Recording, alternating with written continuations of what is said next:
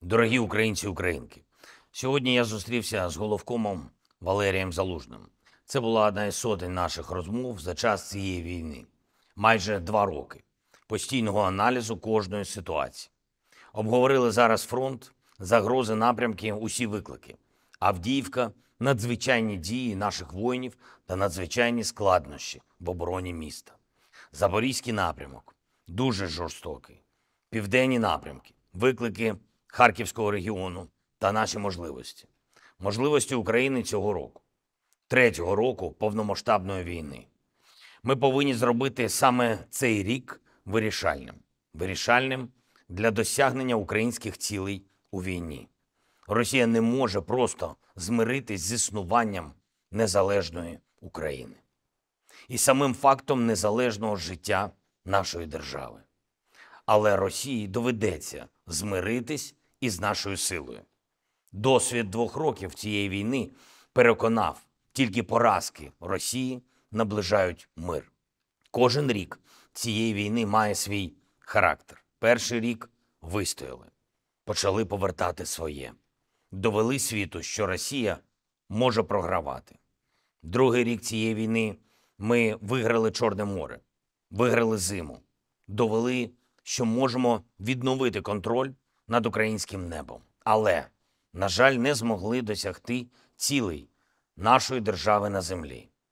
Ми маємо чесно говорити, відчуття стагнації саме на південних напрямках та складнощі в боях на Донеччині вплинули на суспільний настрій. Українці стали рідше говорити про перемогу, але український дух не втратив віри у перемогу. Україна зберігає свій історичний шанс. Реалізувати його наш обов'язок. Цей рік повинен стати часом України, часом, коли кожен український воїн знатиме, як і раніше, що українська держава, українська армія здатні перемагати. Я вдячний генералу Залужному за два роки захисту. Я вдячний за кожну перемогу, яких ми досягли разом і завдяки усім українським воїнам, які героїчно витягують цю війну на собі. Відверто поговорили сьогодні про те, що потребує змін в армії, термінових змін.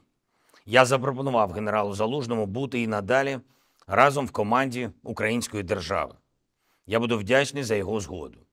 Сьогодні я ухвалив рішення про оновлення керівництва Збройних сил України. Це не про прізвище і тим більше не про політику. Це про систему нашої армії, про менеджмент у Збройних силах України та про залучення досвіду бойових командирів цієї війни. Кожен солдат, кожен сержант та кожен офіцер, який бачить фронт, розуміє, які рішення потрібні. Суттєво більша технологічність дій армії, перезавантаження генералітету. Штаби усіх рівнів мають знати і відчувати фронт так само, як солдати на нулі. Бойові командири цієї війни, командири з нуля мають реалізувати свій особливий досвід на рівні всієї армії у керівництві. Зараз Сила оборони України це майже мільйон людей, які були призвані для захисту нашої держави. Станом на сьогодні більша частина з них не відчули фронт так, як меншість, яка реально на передовій, реально воює. Це означає, що потрібен інший підхід, зокрема до ротацій, інший підхід до управління фронтом, інший підхід до мобілізації та рекрутингу. Все це дасть більшу повагу до солдата і поверне чіткість діям у війні. Дорогі народи, від сьогодні до керівництва Збройними силами України приступає нова управлінська команда. Я хочу, щоб бачення війни було єдиним і у наших воїнів в Роботиному чи Авдіївці, і у Генерального штаба та на ставці. Ретельно підбирається кожен, чий досвід зараз послужить оновленню Збройних сил. Я провів десятки розмов з командирами різного рівня. Зокрема, сьогодні говорив з бригадними генералами Андрієм Гнатовим, Михайлом Драпатим, Ігорем Скибюком та полковниками Павлом Палісою і Вадимом Сухаревським. Усі вони розглядаються на керівні посади в армії та служитимуть під проводом найбільш досвідченого українського командувача, бойового командувача, генерал-полковника Олександра Сирського. Він має успішний досвід захисту, провів Київську оборонну операцію. Він має також і успішний досвід наступу Харківської визвольної операції. Я призначив генерал-полковника Сирського головнокомандувачем Збройних сил України. Сьогодні ж говорив з генералами Майсюком та Забродським. Їх досвід на службі державі. Очікую найближчим часом таких змін в Збройних силах України. На столі має з'явитись реалістичний детальний план дій Збройних сил України на 2024 рік із врахуванням реальної ситуації на полі бою зараз і перспектив.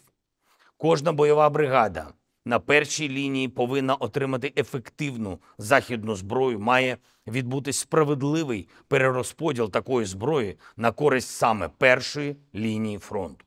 Треба вирішити проблеми з логістикою. Авдіївка не повинна чекати, поки генерали з'ясують, де у них на складах застрягли дрони. Кожен генерал має знати фронт. Якщо генерал не знає фронту, він не служить Україні. Має бути виправлена надмірна та невиправдана чисельність у штабах. Треба побудувати в армії дієву систему ротацій. За основу можна взяти досвід окремих бойових бригад Збройних сил України та підрозділів Державної прикордонної служби України, де існує така система. Ротації це обов'язково.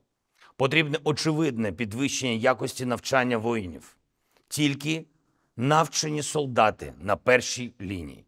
В структурі Збройних сил створюється новий рід сил, сили безпілотних систем. Повинен бути призначений перший командувач. Команду перезавантаження Збройних сил України головком Сирський представить днями. 2024 рік може стати успішним для України лише, лише за умови ефективних змін в основі нашої оборони, якою є Збройні Сили України.